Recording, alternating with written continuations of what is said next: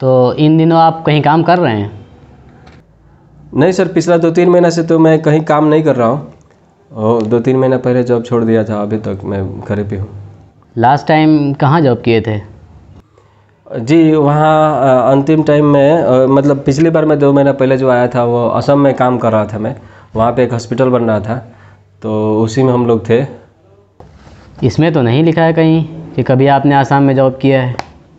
Sorry sir इसमें मैं update नहीं कर पाया हूँ। मैं वही पुराना वाला अपना रिज्यूम लेके चला आया था। तो मैं अपडेट करा दूँगा सर जल्दी। तो अपडेट करके लाना चाहिए था ना? ठीक है अर्थिन के बारे में क्या जानते हैं? अर्थिन जो कोई भी अगर इलेक्ट्रिकल मशीन है उसका बॉडी अगर मेटल का है जैसे पंप है वॉशिंग मशीन है फ्रिज है इस तरह के मशीन को हम लोग अर्थ करते हैं यानी कि उसके बॉडी को एक वायर की मदद से ज़मीन से कनेक्ट करते हैं। इसी को हम लोग अर्थिन बोलते हैं। आमतौर पे हम लोग इसमें हरा कलर का वायर इस्तेमाल करते हैं सर अर्थिन कितने तरह के होते हैं? अर्थिन अर्थिन तो तीन चार तरह का होता है। एक पाइप अर्थिन होता है एक प्लेट अर्थिन होता है और एक रॉड अर्थिन होता है। और एक केमिकल अर्थिन भी होता है सर यही तीन चार तरह का अर्थिन होता है। वहाँ अर्थिन लगाना होगा तो लगा लीजिएगा। हाँ हाँ सर अगर अर्थिन बनाना पड़ेगा तो बना सकते हैं सर। कर सकते हैं इसका पूरा कंप्लीट काम कर सकते हैं। एक एच कितने वाट को कहते हैं? एक एच में एक एच में सात सौ छियालीस वाट होता है।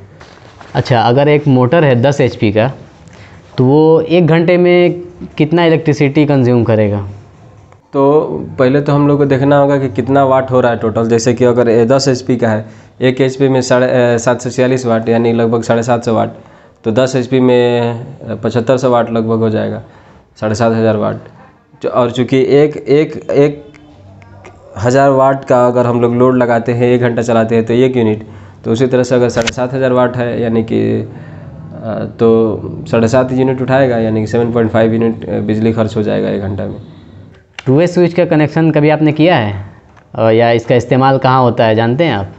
हाँ सर टू वे स्विच का कनेक्शन कर सकते हैं। सिंपल है और मतलब कि इसका आमतौर पे हम लोग यहाँ सीढ़ी का कनेक्शन करना होता था। मतलब कि अगर एक बल्ब को ऊपर से भी कंट्रोल करना है और नीचे से भी कंट्रोल करना है तो हम लोग वहाँ पे टू स्विच का इस्तेमाल करते थे सर। क्या क्या मटेरियल चाहिए इसके लिए? इसमें क्या चाहिए? स्विच चाहिए एक ऊपर के लिए नीचे टू स्विच चाहिए। और एक बल्ब चाहिए होल्डर और बल्ब और वायर चाहिए हो जाएगा। ठीक है इसमें से मटेरियल लीजिए और कनेक्शन करके दिखाइए। हाँ सर कनेक्ट कर सकते हैं।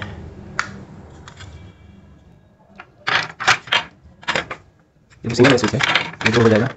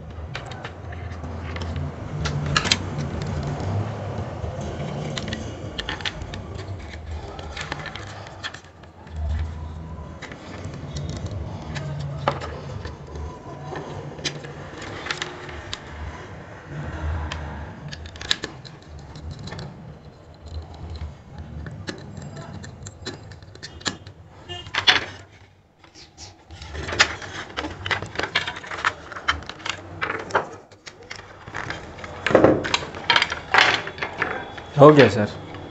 ठीक है इसको चेक कीजिए। तो इसके लिए तो सप्लाई चाहिए ना सर? उसमें सप्लाई है। इसमें?